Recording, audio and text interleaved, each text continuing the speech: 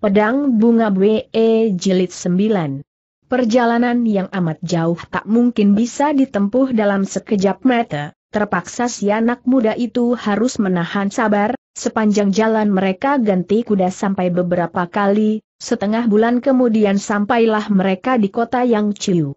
Dalam situasi seperti ini tak seorang pun punya minat untuk menikmati keindahan alam, mereka langsung kembali ke gedung Tihu, Setibanya di depan pintu, si anak muda itu langsung mencengkeram seorang pengawal dan bertanya, Taijin ada di dalam atau tidak titik. Tindakan secara mendadak ini membuat pengawal tersebut tertegun dan tidak habis mengerti, menanti ia temui kalau orang itu adalah Lim Saoya, barulah ia buru-buru berlutut memberi hormat. Cepat katakan apakah Taijin ada di rumah kembali si anak muda itu menegur. Tidak ada, Dua bulan berselang Tai Jin telah minta cuti dan pergi dari gedung titik. Aduh celaka, teriak Kian Hao terjelos, badannya bagaikan diguyur dengan segentong air dingin. Liao Bu jauh lebih tenang, buru-buru ia bertanya kepada pengawal itu. Mengapa Tai Jin minta cuti titik?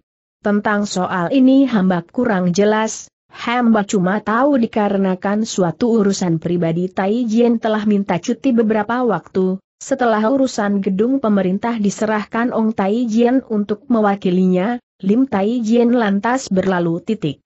Saking cemasnya air mata pun jatuh bercucuran membasahi wajah Kian Hao, ia depakan kakinya berulang kali dan tidak tahu apa yang harus dilakukan.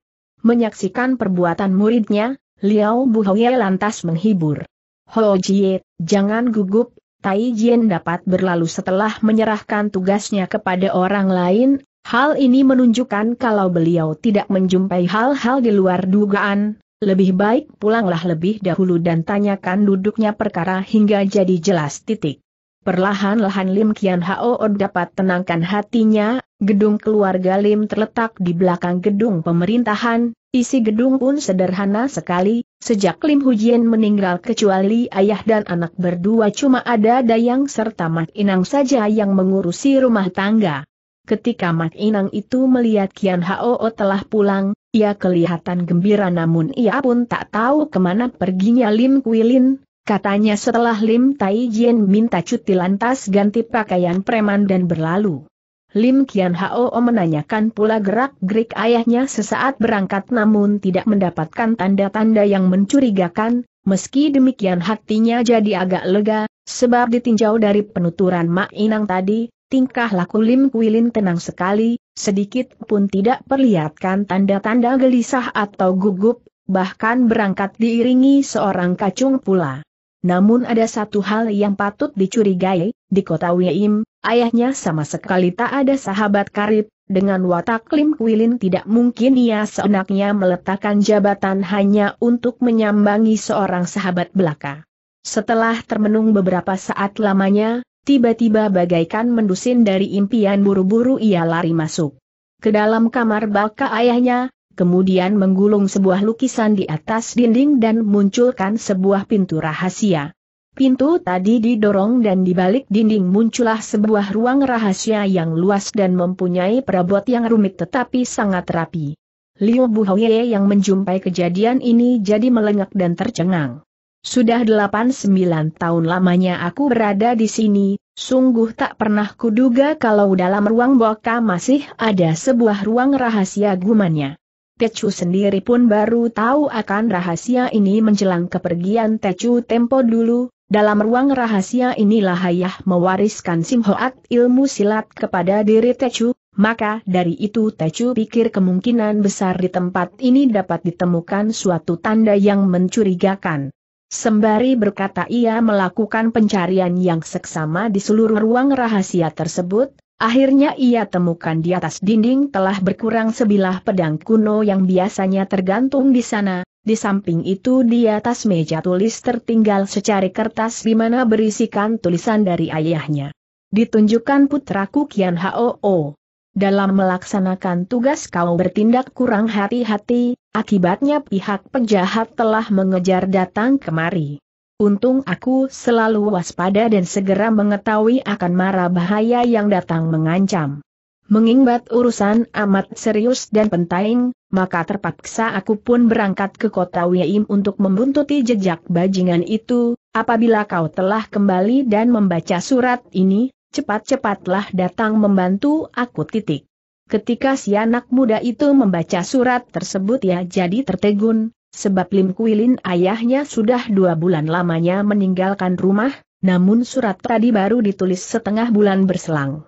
Liao Buhoye yang berdiri di belakang si anak muda itu pun dapat membaca isi surat tadi, nampak dia pun termenung sambil putar otak, akhirnya seorang tua ini berkata, Tentu ayahmu berhasil mengetahui keadaan dirimu dari mulut kawanan bajingan ini dan tahu kalau kau dalam beberapa waktu mendatang bakal pulang ke rumah, maka buru-buru ia balik lagi untuk meninggalkan surat tersebut.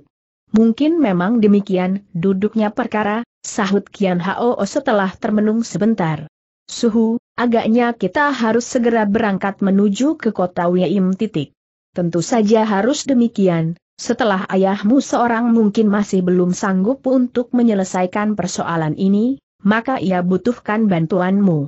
Demikianlah mereka bertiga pun kembali melakukan perjalanan cepat menuju ke kota WLM untung perjalanan tidak terlalu jauh, hanya dua hari kemudian sampailah mereka di tempat tujuan. Kota WLM adalah kampung halaman dari Han Sim seorang panglima tersohor pada Ahalasihan, berhubung itulah kota tersebut sangat ramai sekali. Setibanya di dalam kota, mereka bertiga mengitari seluruh kota satu kali namun tidak menemukan sesuatu jejak apa pun.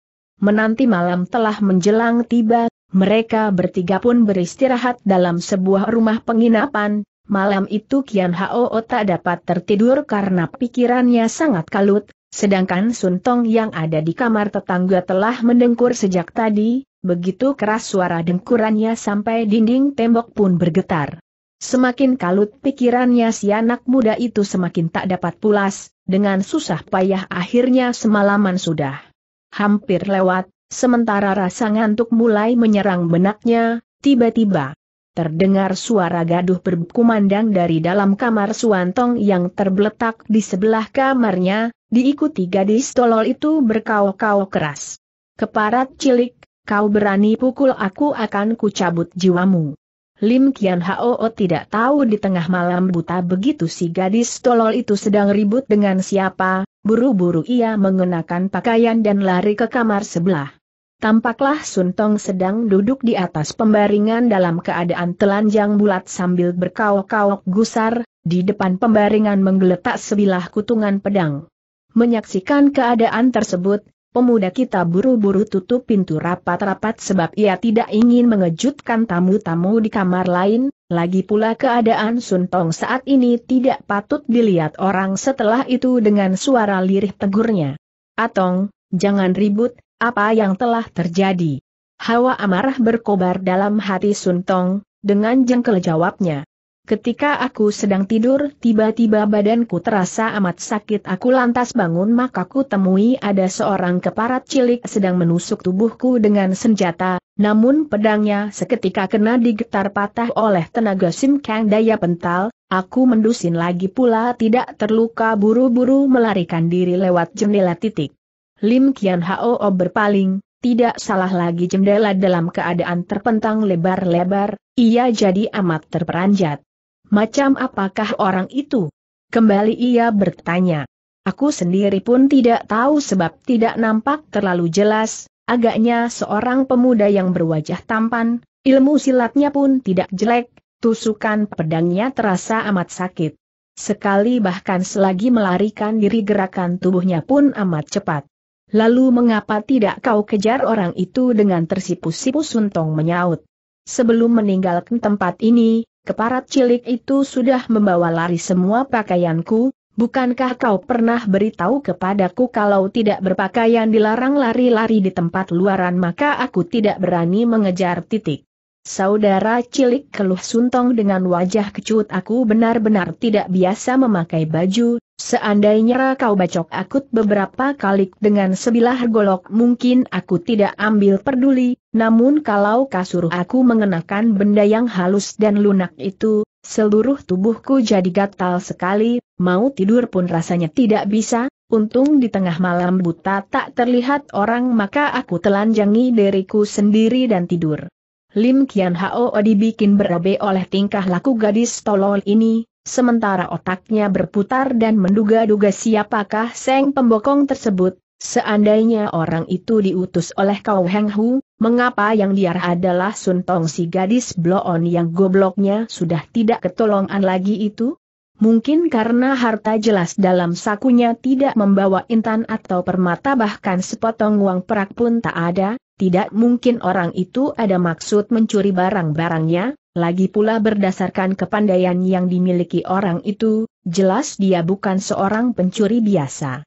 Mungkin karena dia adalah seorang gadis hal ini semakin tidak mungkin lagi, siapa yang sudi main cinta dengan seorang gadis jelek yang berwajah mengerikan bagaikan wewe setengah harian lamanya ia putar otak namun tidak berhasil mendapatkan jawaban, terpaksa ia bertanya. Atong, barang apa yang kau simpan dalam tubuhmu? Tidak ada. Sahut Sun Tong saya menggeleng, namun sejenak kemudian tiba-tiba ia menjerit. Aduh celaka, batok kepala ayahku telah DJ curi orang itu apa bukankah batok kepala ayahmu disimpan dalam gua? Kiu Tong titik. Tidak, aku benar-benar merasa berat hati untuk tinggalkan ayah seorang diri, maka diam-diam ku simpan tulang kepalanya di dalam saku, karena takut kau tahu maka selama ini aku membungkam. Kau kau benar-benar goblok, tolol.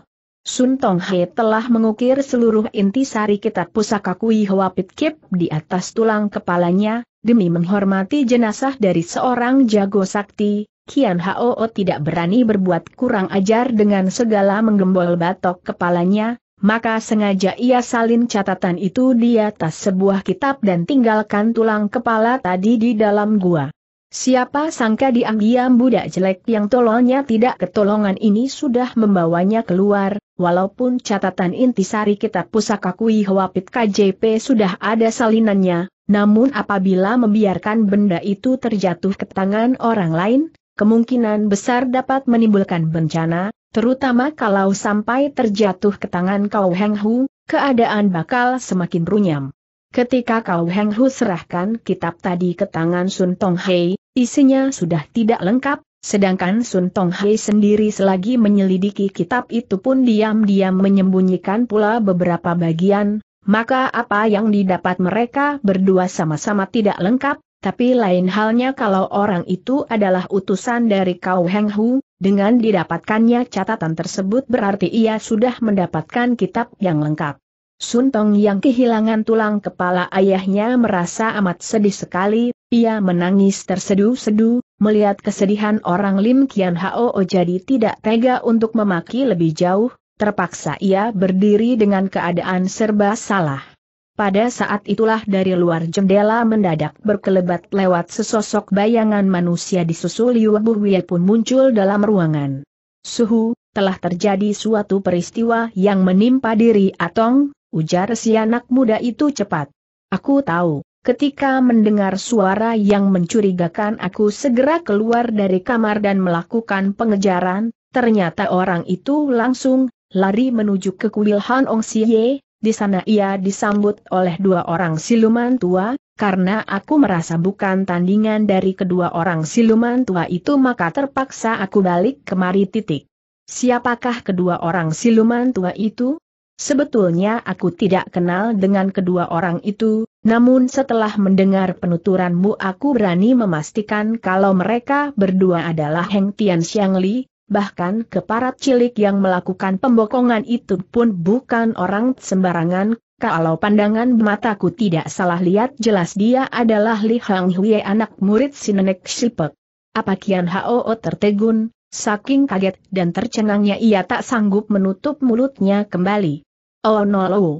Kuil Han Ong Sia terletak di luar kota Wieim, bangunannya sudah rusak dan hancur, temboknya banyak yang rontok dan berlubang, patung arca Han Ong yang ada di meja sembahyang pun tinggal separuh potong, keadaan kuil itu menyedihkan sekali. Lama-kelamaan si anak muda itu jadi jengkel hawa amarahnya segera disalurkan ke atas patung arca tersebut. Seret sebuah pukulan dahsyat menghancurkan sisa patung Honong yang berdiri di tengah ruangan. Hao Jie, mengapa kau salurkan hawa amarahmu ke atas patung arca tersebut tegur Liu Buhye. HMMM teringat Han Sim pun tidak lebih hanya seorang manusia tak berpendidikan, hanya karena gagah saja lantas sombongnya tidak karuan, bagaimana akhirnya ia pun tidak mendapat akhir yang baik, manusia macam begini tidak berhak untuk mendapat penghormatan dari generasi yang akan datang. Liu Buhui bungkam dalam seribu bahasa, sedangkan Sun Tong jadi tertarik, ia pun menirukan Kerusi anak muda itu dengan melancarkan sebuah pukulan menghajar sebuah patung Hon Sim. Siapa sangka ketika angin pukulan itu menghajar telak di atas patung arca tadi, Bukannya hancur berantakan sebaliknya patung tadi secara otomatis telah bergeser sendiri ke samping. Eh saudara cilik, coba lihat patung arca ini bisa bergerak sendiri, jerit Suntong dengan nada kaget. Belum habis ia menjerit dari balik patung tadi muncul seorang pengemis yang berpakaian kumal dan berambut awut-awutan, sambil tertawa terbahak-bahak ia berseru. Han Ong tidak becus dan memalukan kami kaum pengemis, kalian mau hancurkan patungnya peduli amat dengan kami, tetapi Elo Tai Tai, Nyonya tua, ini adalah orang baik, kami kaum pengemis pun justru mencari sedekah berkat kebaikan hatinya, kami tak boleh biarkan ia pun ikut hancur karena Hansim. Keterangan ini menyadarkan Sunatong bahwasanya Bapatung itu bisa bergeser sendiri bukan lain lantaran permainan setan dari si pengemis tersebut, ia hendak maju untuk menghantam dirinya namun kena dicegah Kian Hoo. Siapakah Anda tegur si anak muda itu setelah mengawasi pengemis tersebut beberapa saat kemudian ia baru berkata lagi. Dengan kepandaian yang Anda miliki, aku rasa kau pasti bukan pengemis barangan kaum pengemis tiada tempat tinggal tetap, untuk mencari sedekah harus berkeliaran ke empat penjuru, siapa bilang ada perbedaan antara pengemis biasa dan pengemis luar biasa ucapan dari engkoh cilik ini sungguh aneh sekali, aku ingin tahu pengemis macam apakah baru bisa dikatakan pengemis biasa titik. Sekali lagi si anak muda itu dibikin bungkam dalam seribu bahasa, Liao Buhoye yang ada di sisinya segera menyambung sambil tertawa. Dengan kepandaian liha yang kau miliki namun justru berada dalam barisan pengemis, itulah baru dinamakan istimewa titik. Meskipun aku si pengemis bisa bermain beberapa jurus gerakan kembangan, kepandaian ini pun kami siapkan untuk menghadapi anjing-anjing galak, nasibku memang sudah ditakdirkan jelek, lagi pula harus menuruti peraturan nenek moyangku, dilarang mencuri dilarang merampas, maka untuk melanjutkan hidup terpaksa aku harus mengemis, apanya yang istimewa. HRNMM sudah berapa lama kau berada di sini titik. Kemarin aku si pengemis berhasil mendapatkan sedikit sisa sayur serta beberapa renceh uang kecil yang habis. Ku belikan arak setengah kati, setelah minum sampai mabuk aku telah tidur semalaman di sini titik. Bagus sekali kalau memang kau tidur semalaman di sini tentu tahu bukan ke mana perginya tiga orang yang mendatangi kuil ini tadi pagi-pagi buta titik. Haa, haa, haa, selama ini aku si pengemis tertidur pulas, sama sekali tidak nampak separuh sosok bayangan setampun, namun aku memang sudah dibangunkan oleh tiga ekor anjing kurang ajar. Di mana ada anjing selasun tong sambil celingukan. Kenapa aku tidak lihat anjing yang kau maksudkan itu er?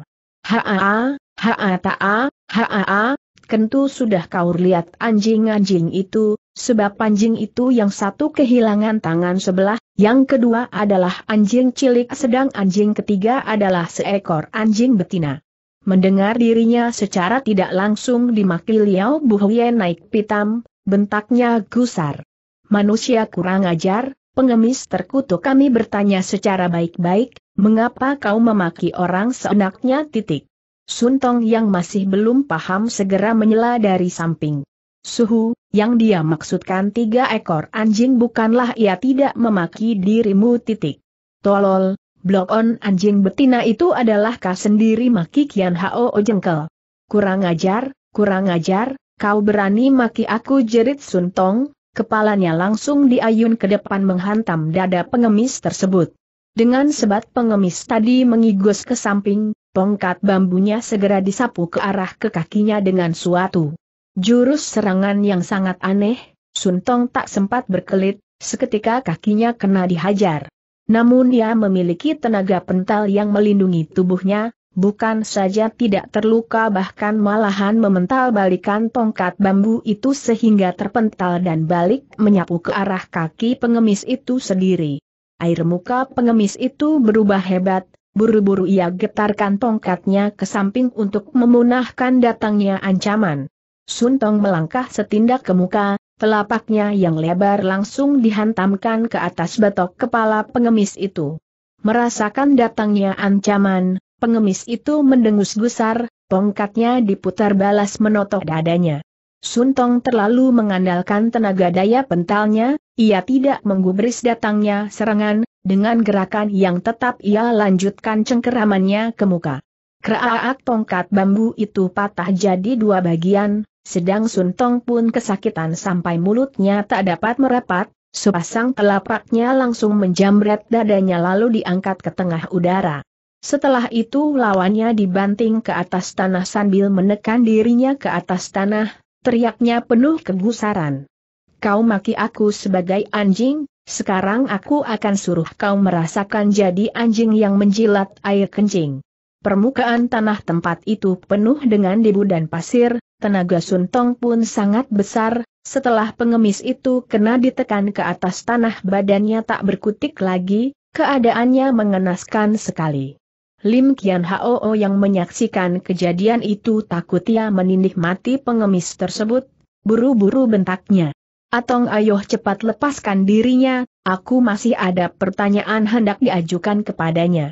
Kena ditegur Suntong baru lepaskan pengemis itu, namun kakinya yang besar pun dengan cepat menginjak dada pengemis tadi, serunya.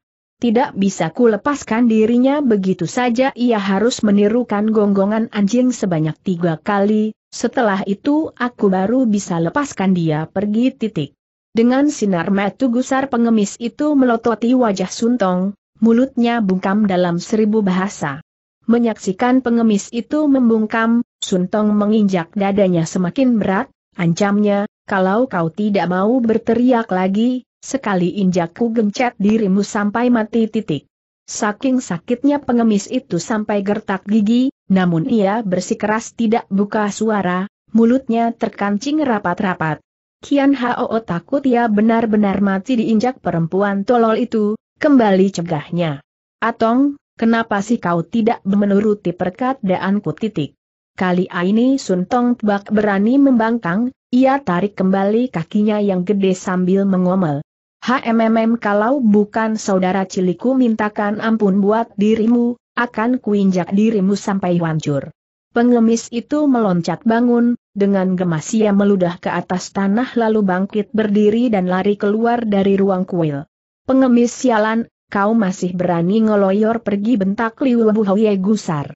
Ia enjotkan badan segera ikut meluncur ke depan, lengan tunggalnya langsung menotok punggungnya. Dalam pada itu pengemis tadi baru saja lari keluar dari pintu, tahu serangan. Jari Liu Buhoye telah meluncur tiba, kelihatan ia bakal roboh terjengkang. Mendadak serentetan cahaya putih meluncur datang dari balik pintu dan langsung menghajar urat Nadelin Buhwiye. Untuk menyelamatkan diri terpaksa si Rasul Seruling harus lepaskan mangsanya untuk menolong diri lebih dahulu, tangannya berputar menyambut datangnya cahaya putih itu, ternyata sebuah mangkuk gumpil. Alisnya langsung berkerut, ia bermaksud buang mangkuk itu ke atas tanah, namun ketika itulah dari luar pintu telah berkumandang datang suara gelak tertawa seseorang. Ha-a-a-a, ha-a-a-a, ha-a-a-a, tua bangka Silyun, jangan, jangan kau buang itulah yang diandalkan aku si pengemis tua untuk cari sesuap nasi titik. Bersamaan dengan gelak tertawa itu dari luar kuil melayang masuk seorang pengemis berusia lanjut, rambutnya awut-awutan dan memakai baju compang-camping, sambil mencekal sebuah tongkat bambu arwah hijau selangkah demi selangkah ia berjalan masuk ke dalam. Ketika mengetahui siapakah pengemis tua itu Liu Buhwie pun lantas tertawa. Eeeei, peminta-minta tua apakah manusia kurang ajar tadi adalah anak buahmu? Selangkah demi selangkah pengemis tua itu berjalan masuk diikuti pengemis muda tadi dengan wajah kesal, kecut dan kusut pengemis tua itu tidak langsung menjawab pertanyaan si Rasul Seruling, matanya melirik sekejap ke arah Lim Kian Hao serta Sun Tong, setelah itu barulah ujarnya. Tua Bangka Silyun, dalam sobal apakah muridku telah menyalai kalian sehingga menimbulkan kegusaran kamu semua? Tanyakan saja kepadanya pengemis tua itu melotot sekejap ke arah pengemis itu, hal ini membuat pengemis tadi dengan badan gemetar segera menjawab. Tecu tidak tahu Elo Osian Seng ini adalah sahabat karib dari Pangcu. Gentong nasi masa terhadap si Rasul seruling Liu Tai Hia pun kau tidak kenal buat apa kau kerkelana di dalam dunia Kangou titik. Liu Tai Hiap adalah seorang pendekar sejati yang gagah perkasa, Tecu tidak tahu kalau dia orang tua cuma punya tangan sebelah. Apa pengemis tua itu berseru tertahan eeeei tua bangka Silyun, mengapa dengan tanganmu titik? Aaaa tanda seru susah-susah untuk dikatakan kedua orang itu adalah sekarang Lim Kian Hao baru tahu kalau pengemis tua itu bukan lain adalah Pangcu dari perkumpulan Kei Pang yang bergelar Chu Sisin Kei atau si pengemis sakti dari dunia jagat Tong Tian Guat adanya. Buru-buru ia maju memberi hormat seraya berkata, Xiao Pit adalah Lim Kian Hao, sedang dia adalah murid Suhu yang paling akhir Suntong adanya.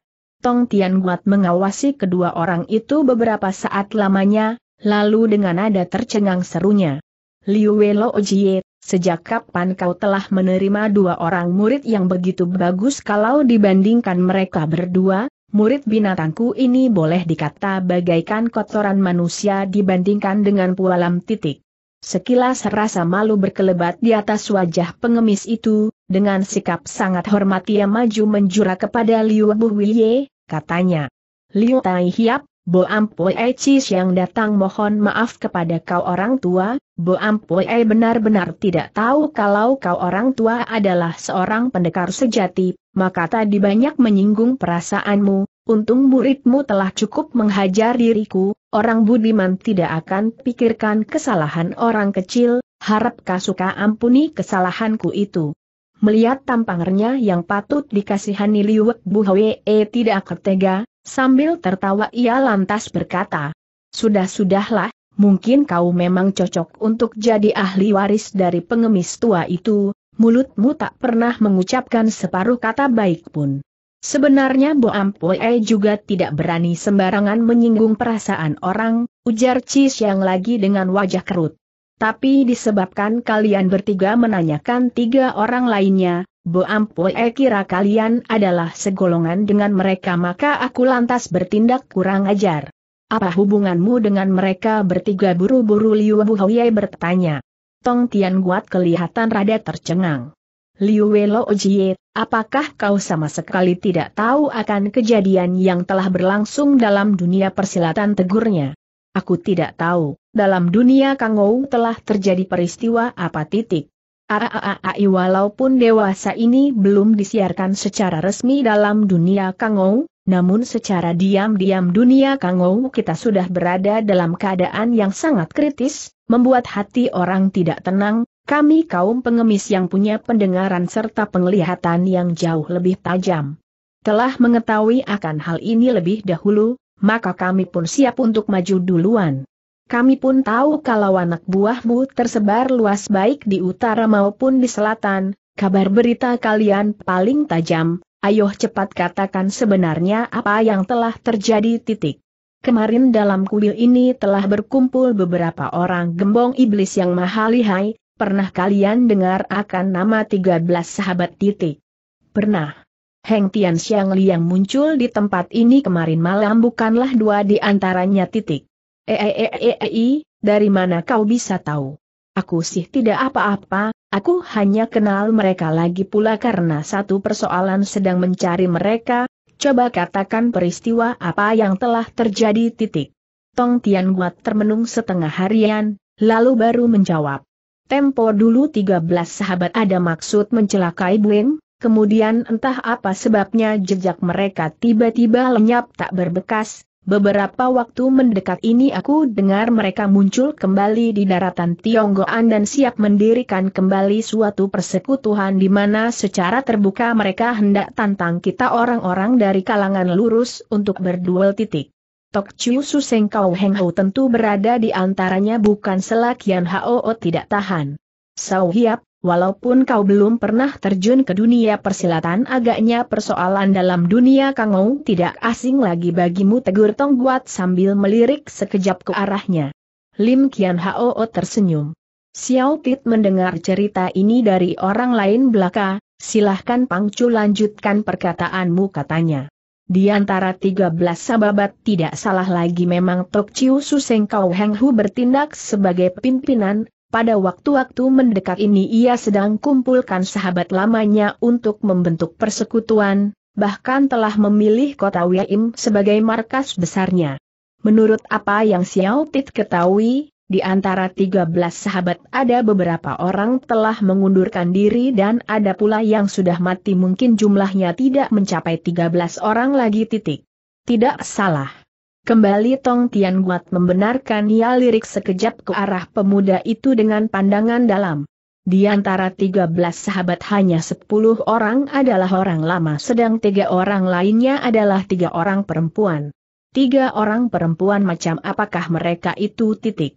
Usia dari bocah-bocah perempuan itu tidak terlalu besar, paras mukanya cantik jelita dan ilmu silatnya sangat lihai sekali, sudah banyak anak murid perkumpulanku yang mati binasa di tangan mereka, kami pun tidak tahu ketiga orang bocah perempuan itu berasal dari mana titik. Lim Kian Hao termenung beberapa saat lamanya, menurut dugaan hatinya ketiba hatinya ketiga orang gadis itu kemungkinan besar adalah Sani serta Li Hang Huiye, lalu siapakah gadis ketiga? Terdengar Tong Jan Buat berkata kembali. Kemarin aku mendapat kabar lagi dan tahu kalau mereka hendak berkumpul di tempat ini, maka aku serta murid kucis yang lantas datang kemari untuk cari kabar, hasilnya penjagaan mereka ketat sekali, walaupun sudah putar akal gagal juga bagi kami untuk menyusup masuk.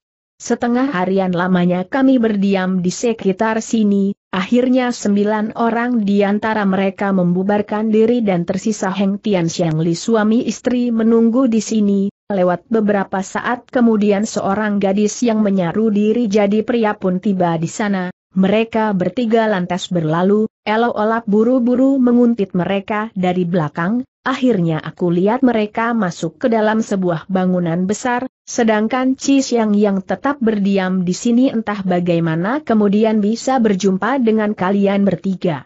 Titik. Pangcu, tolong tanya bangunan itu terletak di mana buru-buru Kian Hao bertanya. Tidak jauh letaknya dari sini, penjagaan di tempat itu sangat ketat sekali, aku rasa di situlah 13 sahabat beristirahat. Pangcu, tahukah kau bahwa di samping kau Heng Hou si monyet tua itu pun membawa dua orang gadis, apakah mereka juga ada di situ titik. Tentang soal ini Loohu kurang jelas, jejak 3B ia sahabat sangat rahasia sekali, sekalipun Loohu telah kerahkan segenap tenaga anak buahku pun berita yang ku ketahui cuma begini sedikit. Sedangkan mengenai bangunan besar itu pun belum lama berselang baru berhasil Loohu temukan titik.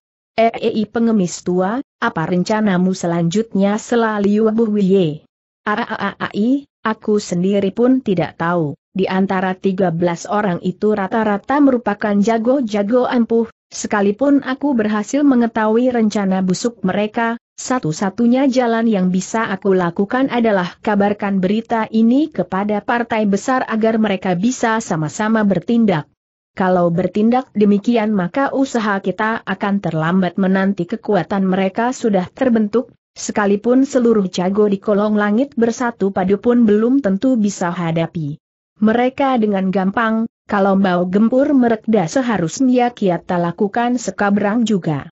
Sekarang bukan loohu melenyapkan semangat juang diri kita, sekalipun kita beberapa orang bersatu padu pun percuma saja, mungkin kita malah akan menghantar kematian dengan percuma. Kalau tidak masuk gua macan, mana bisa mendapatkan anak harimau titik. Aa Isau Hiap gagah perkasa dan berhati jantan, tidak malu jadi murid si Raswi Seruling, hanya emosimu terlalu berkobar. Liu Buhoye tersenyum. Eei pengemis tua, muridku ini cuma mewariskan gelar si Rasul Seruling Kublaka, sedang mengenai ilmu silatnya ia jauh lebih ampuh daripada kepandaianku sekalipun murid dogol yang baru ku terima ini pun jauh lebih ampuh berkali lipat daripada diriku sendiri, kalau tidak percuma boleh kau tanyakan kepada muridmu titik. Dengan wajah kikuk Cisian tunduk kepala dan membungkam. Sedangkan Tong Tian Guat dengan wajah tercengang lantas berseru. Liu Welo Ojie, puluhan tahun tidak berjumpa, Sebenarnya kau sudah main setan apa saja titik. Dewasa ini tiada waktu untuk menerangkan persoalan ini kepadamu. Kalau memang kau tahu markas besar dari 13 sahabat maka urusan tak boleh terlambat lagi, kami siap meluruk dan menghancurkan mereka, mau ikut atau tidak terserah pendapatmu sendiri. Tong Tian Guat tertegun beberapa saat lamanya, kemudian ia baru berkata, Liu Welo Ojie, manusia macam kau pun telah tampil ke depan untuk menghadapi persoalan ini, aku si pengemis tua sebagai seorang pangcumana boleh mengkerat macam kuku kura-kura, mau terjun ke air, terjun ke api, aku si pengemis tua akan ikuti kemauan kalian. Ha-a-a-a, ha-a-a-a, ha-a-a-a, bagus, bagus sekali perkataan macam inilah baru mirip ucapan seorang pengemis tua seperti kau, ayo berangkat. Suhu, lebih baik kau berpikir tiga kali sebelum bertindak selaci yang ragu-ragu. Kentut maki pengemis tua ini dengan mati melotot. Coba lihat bagaimana gagahnya anak murid orang lain. Kau benar-benar memalukan diriku, kalau kau berani bicara lagi aku si pengemis tua segera usir kau dari perguruan titik. yang jadi ketakutan, ia lantas bungkam dalam seribu bahasa. Sementara itu serambil menggetarkan tongkat bambu di tangannya, Ertong Tian Guan berkata, Ayo jalan ayo jalan ini hari sekalipun nyawa aku si pengemis tua harus lenyap di tangan orang pun harus ku terjang daerah terlarang dari 13 sahabat, sekalipun mati aku mati dengan bangga. Liu Buhoye melirik sekejap ke arah Lim Kian Hao lalu ikut di belakang pengemis itu dan berlalu, sedangkan Sun Tong dengan riang gembira berseru. Saudara cilik, apakah kita mau pergi berkelahi sampai waktunya kau jangan halangi diriku LOO, aku hendak bergebrak sampai puas dan sampai lelah titik. Atong, nanti kalau benar-benar sampai berkelahi aku tidak akan menghalangi kemauanmu tapi kau pun harus berhati, orang-orang itu bukan manusia sembarangan, jangan. Sampai kena dipukul orang sebelum kau sempat menghajar orang lain titik. Haa, Haa, haa, aku tidak takut, ayah telah mewariskan ilmu tahan pukulan kepadaku, sekalipun sekalipun dijotos tidak akan mengapa, tapi kalau ku balas dengan jotosanku, akan ku suruh mereka rasakan bogem mentah yang luar biasa titik.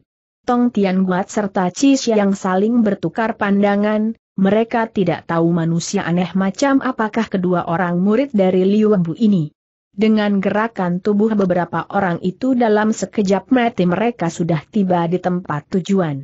Tempat itu merupakan sebuah bangunan yang sangat besar dengan tembok pekarangan yang tinggi, di depan pintu berdiri sepasang singa batu yang amat besar, sepasang pintu yang besar dan berwarna merah tertutup rapat. Sambil menuding pintu besar itu ujar Tong Tian Guat, di tempat inilah, kita hendak terjang masuk secara terang terangan atau diam-diam Lim Kian Hao tersenyum.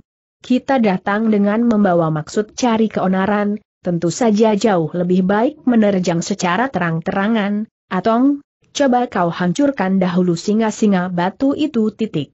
Dengan gembira Suntong terima perintah ia maju ke depan dengan langkah lebar, sepasang lengannya dipentangkan memeluk singa batu itu keras-keras lalu digoyangkan beberapa kali, setelah itu mendadak ia angkat singa batu tadi ke tengah udara dan dilemparkan ke atas singa batu kedua. Tubuh singa batu itu ada beberapa tombak dengan berat ribuan kati, seluruh tubuh terbuat dari batu hijau yang keras. Namun berada di tangan Suntong, arca seberat ribuan kati itu enteng bagaikan barang mainan belaka. Blue diiringi bentokan dahsyat, percikan bunga api munkrat keempat penjuru sepasang singa batu yang amat besar itu kontan hancur berkeping-keping.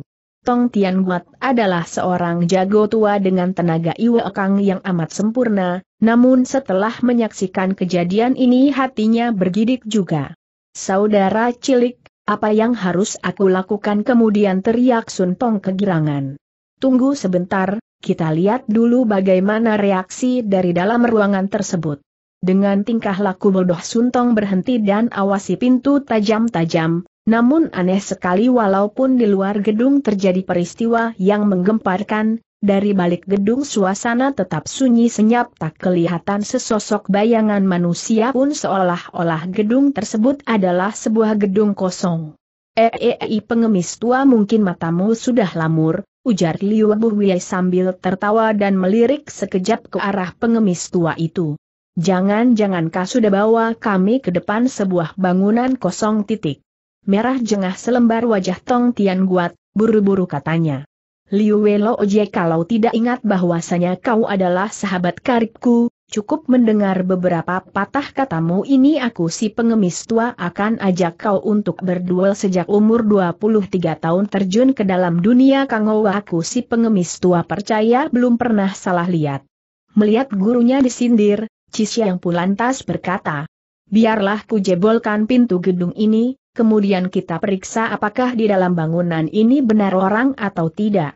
Seraya berkata ia maju ke depan kemudian pasang kuda-kuda dan melemparkan sebuah pukulan dahsyat ke atas pintu tersebut. Beraak pintu tersebut bukan saja tidak jebol bahkan gemilang sedikit pun tidak. Bahkan dari dalam bangunan suasana tetap sunyi senyap tak kedengaran sedikit suara pun. Merah padam selembar wajah Cis yang saking malunya, Kian Hao takut Tong Tian buat guru dan murid mendapat malu, buru-buru ia maju ke depan sambil berkata, harap Ci suka mundur selangkah, terhadap benda mati macam begini buat apa harus adu otot biarlah Xiao Te gunakan sedikit akal untuk mendobraknya titik. Sembari berkata sepasang telapaknya lantas ditempelkan di atas pintu kemudian dengan cepat badannya meloncat mundur ke belakang pintu yang tebal dan berat itu bergoyang keras diikuti ambruk ke dalam diiringi suara yang amat keras. Air muka Tong Tian Guat kontan berubah hebat, kepada Liu Buhwe ia menghela napas sambil berkata, Liu Welo Ojie, aku benar-benar takluk kepadamu, dengan tenaga luakang yang dimiliki muridmu, Aku pengemis tua mengakui bahwa aku masih terpaut jauh sekali. Liu Buhoye tersenyum. Eh, eh, eh, pengemis tua, aku nasihati dirimu lebih baik jangan banyak berpikir yang bukan-bukan, katanya. Bukankah aku pernah berkata kepadamu, muridku ini jauh lihai daripadamu, muridku ini jauh lebih lihai daripada diriku sendiri, Sejak kini aku lihat dunia Kangou lebih baik diserahkan buat kaum muda saja titik. Tong Tian Guat menghela napas dan membungkam. Sementara itu Sun Tong yang punya sepasang mata tajam, tiba-tiba menemukan sesosok bayangan manusia berkelebat lewat di dalam gedung, buru-buru serunya. Coba lihat, si mayat hidup. Sembari berseru ia terjang masuk ke dalam gedung. Lim Kian Hao pun dapat melihat bayangan punggung orang itu, ia kenal orang tersebut bukan lain adalah si dukun tua dari suku leher panjang yang pernah ditemuinya, atau kata lain antek dari Kau Heng Hu, hatinya tergolak, ia sadar Kau Heng Hu pasti berdiam di sini. Namun ia merasa takut Suntong yang menemui bahaya seorang diri mendapatkan kerugian besar, buru-buru cegahnya. Atong tunggu sebentar. Belum habis ia berteriak, tubuh Suntong yang gede bagaikan kerbau sudah dilempar orang dari dalam pintu. Plaak pantatnya mencium tanah keras-keras hingga menimbulkan suara nyaring. Untung ia punya kulit badan yang atos dan kuat, lagi pula dilindungi oleh Sin Kang daya pental yang maha sakti, sekalipun terbanting keras di atas tanah namun sama sekali tidak terluka. Dengan cepat perempuan goblok itu meloncat bangun dari atas tanah, Sepasang matanya melotot bulat-bulat. Dalam pada itu gelak tertawa nyaring berkumandang keluar dari balik pintu disusul teguran seseorang dengan suara lantang. Kawanan tikus dari mana berani bikin onar di tempat ini titik. Bersamaan dengan teguran tadi dari balik pintu muncul enam orang laki perempuan bercampur baur.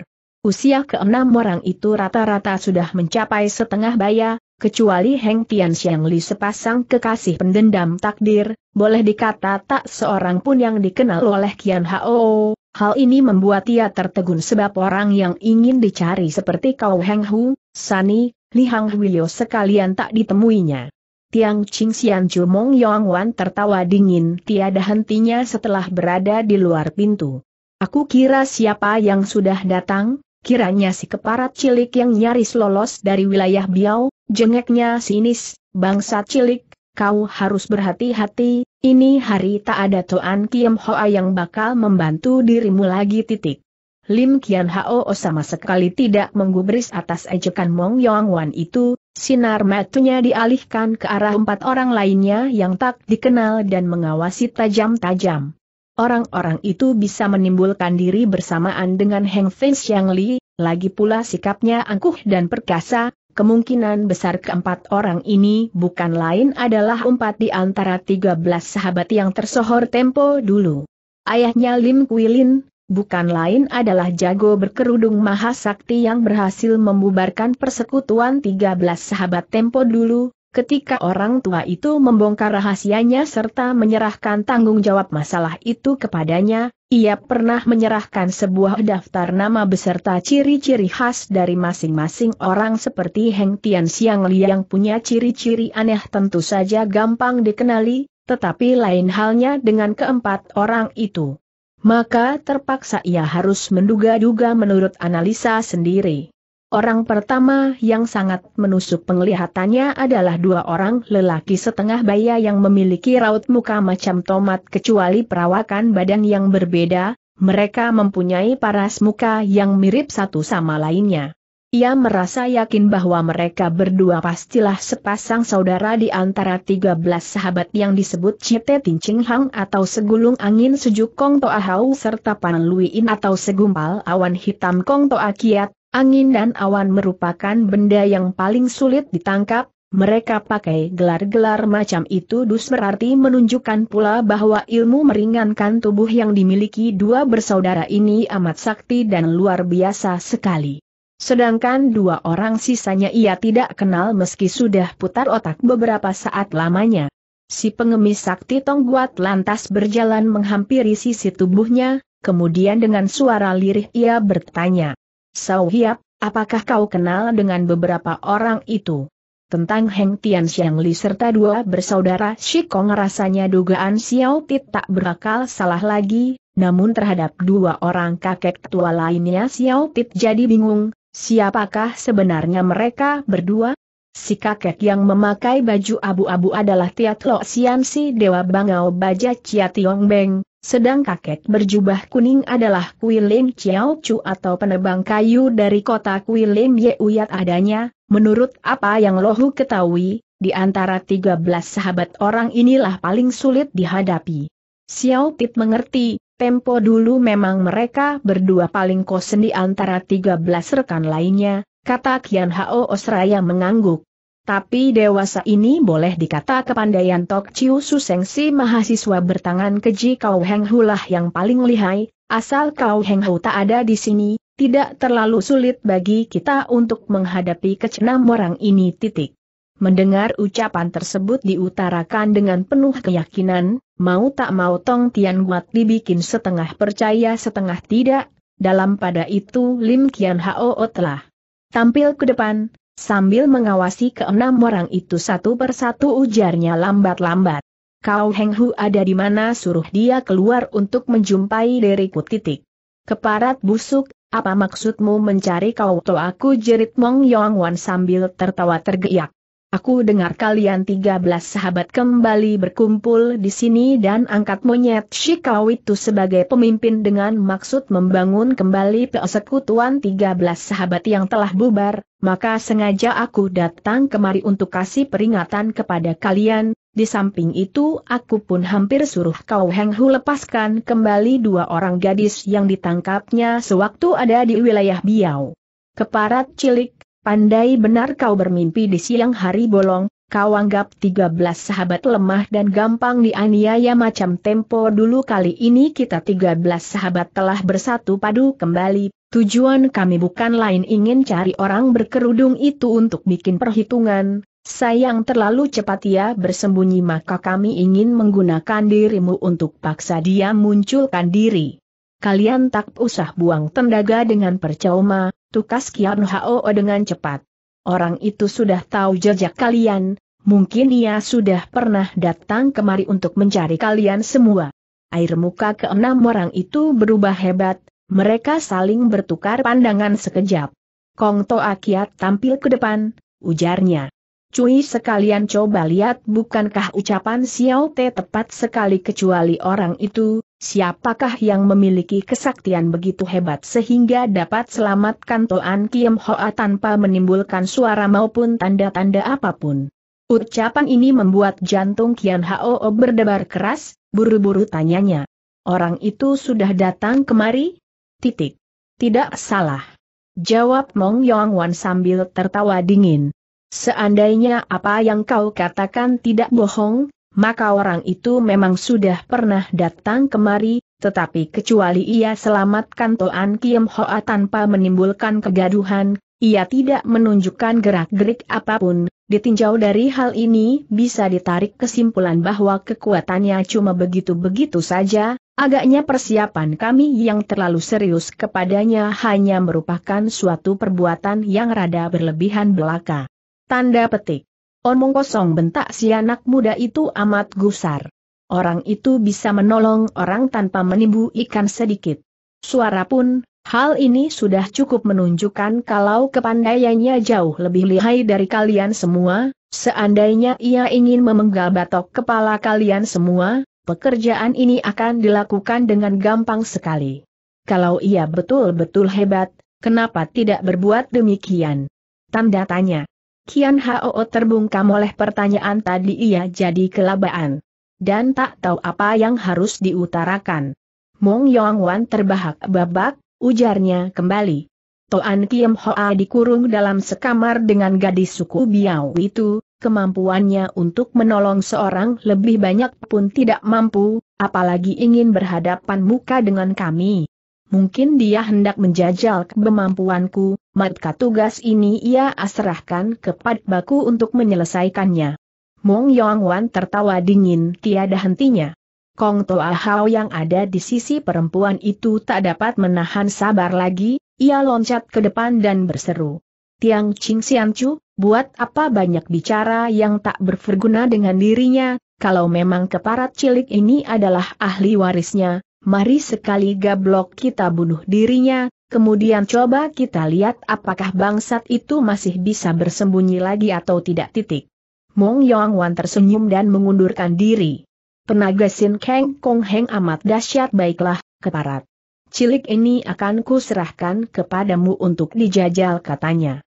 Sepasang bau Kong Toahau sedikit bergoyang, laksana kilatia sudah terjang ke depan, Pergelangannya langsung membabat bahu kanan si anak muda itu dengan gerakan yang aneh tapi ampuh, tidak malu ia bergelar segulung angin sejuk. Lim Kian Hao pusatkan tenaga membalik pergelangan kemudian melancarkan pula sebuah serangan menyambut datangnya ancaman itu. Plaaak diiringi bentrokan nyaring tubuh Kong Toa Hao terdesak mundur dua langkah ke belakang, ia berdiri tertegun dan hampir-hampir saja tidak percaya dengan penglihatan sendiri. Tiang Ching Sian Chu. Serunya. Agaknya keparat cilik ini tidak bodoh dan macam gentong nasi seperti apa yang kau katakan titik. Mungkin dalam beberapa waktu berselang ia mendapat kemajuan pesat lagi dalam ilmu silatnya jawab Mong Yong Wan sambil tertawa kikuk. Walaupun Lim Kian Hao sendiri berhasil duduk di atas angin, Tak urung ia pun terperanjat, sebab sejak ia mendapat ilmu sakti dari Hiolo Oci Liong Teng kemudian mendapat pula pelajaran sakti dari Sun Tong Hei, ilmu silatnya boleh dikata. Peroleh kemajuan amat pesat, dalam serangan tadi pun ia sudah memakai tenaga sebesar sembilan bagian, siapa sangka hasilnya cuma berhasil memaksa Kong Toa Hao mundur dua langkah ke belakang belaka, Ditinjau dari hal ini bisa ditarik kesimpulan bahwa selama 10 tahun kepandaian silat yang dimiliki gembong iblis ini telah peroleh kemajuan pesat. Seorang saja sudah begini lihai apalagi enam orang turun tangan berbareng, kelihayannya tentu luar biasa sekali. Sementara ia masih mengeluh di dalam hati, mendadak dilihatnya air muka Kong Toahau menunjukkan suatu perubahan, sebagai seorang yang cerdik dengan cepat ia dapat memahami sebab-sebab sebenarnya bahkan mendapatkan pula suatu care untuk mengatasi kesulitan itu. Ditinjau dari potongan wajah beberapa orang itu, Kong Toahau berdua termasuk rada jujur dan polos, sedang Heng Tian Xiang lilicik dan keji, Cia Tiong Beng latah dan Yeuya tangkuh, dengan watak-watak yang berbeda, gampang sekali baginya untuk menggunakan mereka. Dalam pada itu Kong Toa Hau telah siap-siap melancarkan serangannya kembali, wajahnya amat keren dan serius. Lim Kian Hao pun tidak banyak bicara, tenaga luakangnya disalurkan hingga mencapai sepuluh bagian, ia siap sedia menghadapi segala kemungkinan yang bakal terjadi. Tiba-tiba terdengar Kong Toa Hau membentak keras, telapaknya sekali lagi dilancarkan menghantam dada Iawan. Sejak tadi si anak muda itu sudah bikin persiapan, tangannya segera menempel di atas telapak lawan, pinjam tenaga pukulan itu tubuhnya mencelat ke depan dan melayang ke arah Kong Toa Kiat, bentaknya. Eh eh eh, sahabat, jangan menganggur sembari berseru ia pun mengirim sebuah pukulan ke depan. Dalam keadaan tidak siap menghadapi serangan musuh, tentu saja kekuatan Kong Toa Kiat mengalami kerugian besar, terkena hantaman ini tubuhnya terdesak mundur sampai puluhan langkah jauhnya baru bisa berdiri tegak. Setelah berhasil dalam serangannya, Kian Hao lantas berpaling dan serunya kepada Sun Tong, Atong, kedua orang kakek tua ini pun bukan orang baik, Bukankah kau kepingin berkelahi kenapa masih berpeluk tangan belaka titik? Sejak badannya terlempar keluar dari pintu tanpa mengetahui siapa yang melakukan perbuatan itu, hati Suntong sudah panas sekali, namun ia tak berani turun tangan secara gegabah sebelum ada petunjuk dari si anak muda itu. Kini mendapat tawaran dari Kian Hoo, tanpa banyak cincong lagi kepalanya langsung disodok ke arah perut si Dewa Bang Baja Chia Beng. Angin pukulan berdesir tajam, jurus serangan ini dilancarkan dengan kecepatan sukar dilukiskan dengan kata-kata, melihat datangnya ancaman Chia Beng segera lintangkan tangannya menangkis.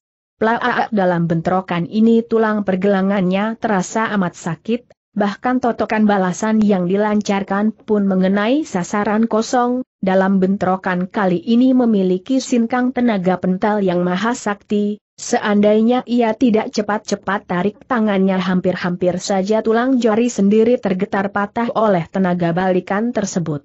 Atong, masih ada seorang kakek tua lagi jangan lepaskan dia pergi kembali si anak muda itu berteriak. Makin bertarung Suntong semakin kegirangan, ia putar badan kirim pula sebuah jotosan ke arah Yeuyat. Dari pengalaman Ciati yang Beng barusan, Yeuyat tidak berani menerima datangnya serangan dengan keras, bahunya. Buru-buru direndahkan dan menghindar ke samping. Menyaksikan kejadian itu, sengaja Lim Kian Hao tertawa terbahak-bahak dan menjengek. Kalian tua-tua bangka sudah bersembunyi selama sepuluh tahun dari keramaian Bu Iem, kenapa masih begitu tidak becus? Tanda tanya agaknya di antara 13 sahabat kecuali beberapa orang yang terbatas kemajuannya, lainnya cuma manusia-manusia bernama kosong belaka titik.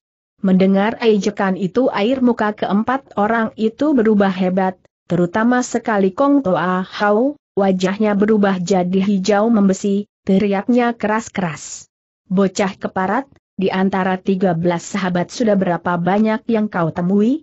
Kecuali kalian berenam aku telah berjumpa dengan Tok Chiu Asu Seng Kau Beng ilmu silatnya tak usah dibicarakan lagi, di samping itu masih ada Sian Kian Tansan atau si sepasang bahu menyungging bukit liput pengserta Soatsu atau si kakek salju Kok Hon, kedua orang ini sudah cuci tangan dari persoalan bulim dan mengundurkan diri dari pelbagai masalah dunia persilatan, tak usah berbicara tentang tiga orang itu, cukup membicarakan dari situasi dewasa ini, aku rasa kecuali Heng Tian Xiang Li yang cukup berhak untuk disebut jago kelas wahid, lainnya sama sekali tidak becus.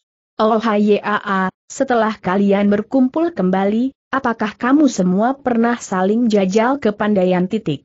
Melihat semua orang membungkam, Kian Hao tersenyum dan berkata kembali. Sewaktu pertama kali aku berjumpa dengan Heng Tian Xiang Li di wilayah Biao Tempo dulu, tidak sampai sepuluh gebrakan aku telah dipaksa sampai kalang kabut tidak karuan, seandainya Toan Kiem Hoa Chiam Poe tidak menolong tepat pada waktunya, hampir-hampir saja selembar jiwaku melayang. Ini hari setelah berjumpa dengan kalian, Aku rasa kehebatan mereka kalian berempat masih belum sepadan dengan kehebatan mereka suami istri berdua titik. Perkataan ini bukan saja di luar dugaan Heng Tian Xiang Li bahkan Liu Buhwei pun dibikin tertegun sebab menurut cerita si anak muda itu tempo dulu, keadaan yang sebenarnya bukan demikian, tetapi sebagai seorang kangou kawakan hanya dipikir sebentar saja, ia lantas paham dengan maksud hati si anak muda itu air muka si dewa awet muda Tong Hong Idlip serta Tiang Ching Sian Mong Yong Wan berubah sangat hebat. Kiranya ketika 13 sahabat telah berkumpul kembali, demi gengsi dan nama baik sengaja mereka sembunyikan keadaan sebenarnya dari hasil pertarungan tempo dulu dan mengibur yang bukan-bukan, Kian Hao sebagai seorang pemuda cerdik segera menangkap akan hal itu dari ucapan Kong Toa Hao tadi, namun bukan saja rahasia itu tidak dibongkar, malahan ia mengaku terus terang, kejadian ini betul-betul ada di luar dugaan sepasang suami istri itu. Dengan cepat Tong Hong Itlip putar otak, sebentar saja ia dapat memahami maksud si anak muda itu, namun ia tak dapat berbuat sesuatu apa pun, keadaannya bagaikan si bisu menelan empedu, walaupun pahit namun tak dapat mengutarakan kepahitaan tersebut.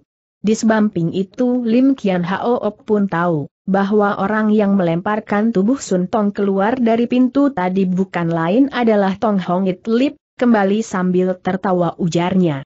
Yang lain tak usah dikatakan cukup ditinjau kemampuannya untuk melemparkan tubuh rekanku dari pintu, aku rasa kalian berempat belum tentu bisa berbuat yang sama seperti dia. Haruslah diketahui, meskipun 13 sahabat telah berkumpul jadi satu, namun sebagai orang yang berwatak tinggi hati, di luar mereka rukun padahal dalam hati siapa pun tak mau tunduk kepada siapa. Karena hal inilah sewaktu Kau Heng Hu mengumpulkan mereka kembali sengaja ia tunjukkan beberapa macam kepandaian sakti yang memaksa semua orang tak bisa bicara, di luar mereka tunduk belum tentu dalam hati merasa puas. Dan kini Lim Kian Hao menyanjung-nyanjung Heng Tian Xiang Li, kebetulan sekali perbuatannya ini justru mengena pada titik kelemahan mereka. Kong Toa Hao langsung tertawa dingin, sambil melirik sekejap ke arah Mong Yong Wan jengeknya. Kiong Hiye, Kiong Hiye, setelah sepuluh tahun bersembunyi di wilayah Biao, kiranya kalian berdua telah berhasil melatih diri hingga begitu lihai, agaknya kami masih bukan tandingan kalian titik. Kong Toa Heng, harap jangan salah paham, buru-buru Mong Yang Ngan menyela. Keparat cilik ini sengaja hendak mengadu domba kita, agar kita tidak bisa akur dan bekerja sama titik. HMMM kenapa ucapannya justru tiada berbeda banyak dengan apa yang pernah kalian berdua ucapkan titik. Kong Toa Heng Tong Hong Idlip segera angkat bicara pula, persoalan yang tak usah kita bicarakan pada saat ini, sekarang lebih baik kita bereskan keparat cilik ini lebih dahulu. Titik. Kong Toa Hau semakin naik pitam, teriaknya, dengan kemampuan kalian berdua rasanya tidak terlalu sulit untuk merobohkan keparat cilik ini, mengapa kalian ingin kami tunjuk kejelekan di depan orang apakah kalian berdua baru merasa puas apabila kami benar-benar mendapat malu besar. Titik.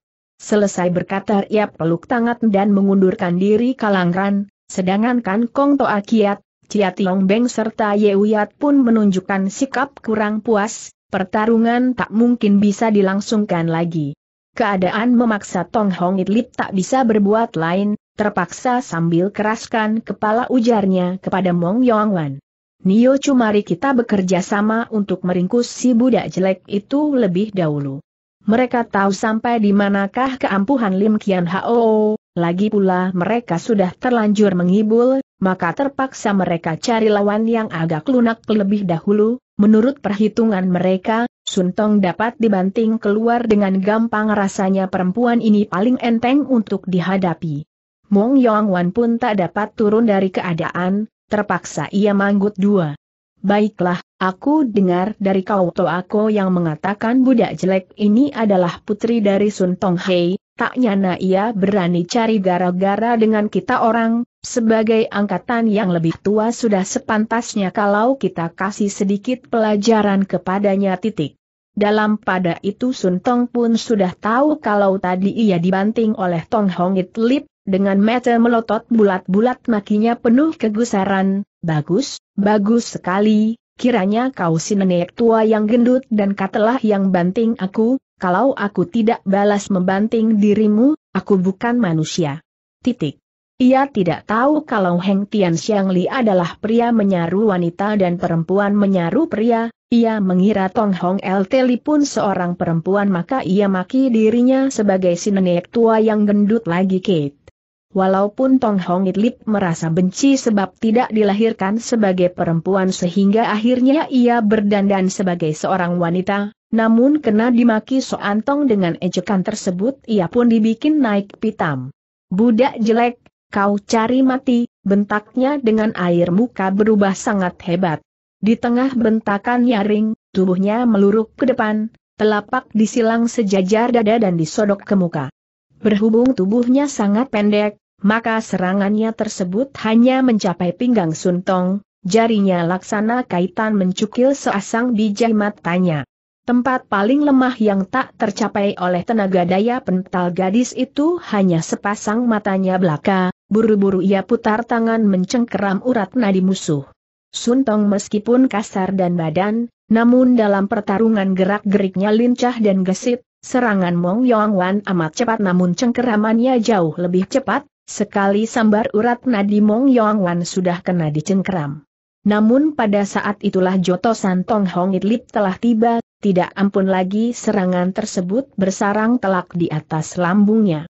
Suami istri pembenci takdir dapat mencantumkan diri sebagai salah satu di antara 13 sahabat, tentu saja tenaga luakangnya luar biasa sekali, Suntong segera merasakan perutnya amat sakit hingga merasuk ke tulang sumsum, -sum, lengannya tak sanggup diangkat kembali, persendiannya telah lepas dan patah. Yang paling celaka adalah Mong Yong Wan urat nadinya kena dicengkeram oleh Suntong erat-erat, Ketika perempuan tolol itu tergetar mundur ke belakang, ia pun ikut. Terseret, ketika Suntong jatuh terjengkang ia pun ikut roboh sehingga bergumul jadi satu. Ketika Suntong merasa kesakitan tadi, tanpa sadar cekalannya pada urat nadi lawan pun diperkeras, tidak ampun lagi tulang pergelangan Mong Yong Wan seketika tergencet hancur berantakan seandainya ia tidak memiliki tenaga W.E. Kang yang sempurna, niscaya ia sudah roboh binasa.